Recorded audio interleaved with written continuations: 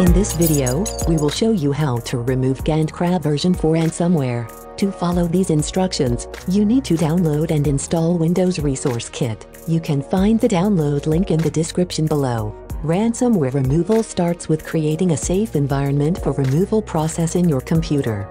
Follow instructions to do so. First you have to boot up your computer into safe mode.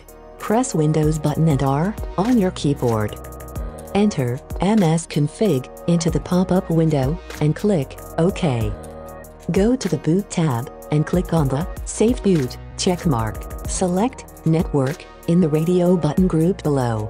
Click Apply and then OK. Then click on Restart to restart your PC.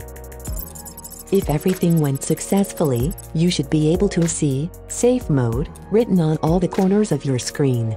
Now, we need to clean up any registry errors or incorrect settings that could have been modified by this ransomware virus. Copy the text that you can find in description of this video. Paste it to Notepad, then click on File, Save As. Save it anywhere where you will find it, for example, on your desktop. Name the file anything you will remember, but at the end don't forget to type .bat. On Save As Type selection, select All Files and press Save. Copy and paste the newly created file to C. Program Files, Windows Resource Kits. Tools.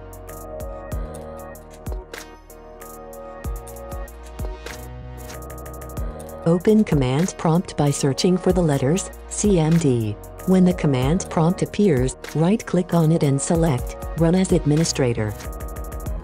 Then type cd, c, Program Files, Windows Resource Kits, Tools.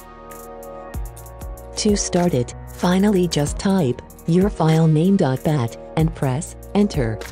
The process might take quite a while, but when it finishes, registry errors should be fixed. Keep in mind that even if this tool fixes registry errors, it might not remove newly added registry values by the virus. To completely remove it, it's always recommended to use powerful antivirus software.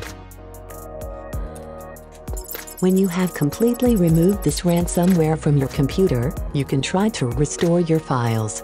To do that, copy the second link which you can find on the description of this video. Open it with your default browser, it will initiate download of a data recovery application. Double-click to open the installer. Press Yes to allow the program to be installed. Follow the installation steps and agree with terms of service. Now, press Finish to open the data recovery program.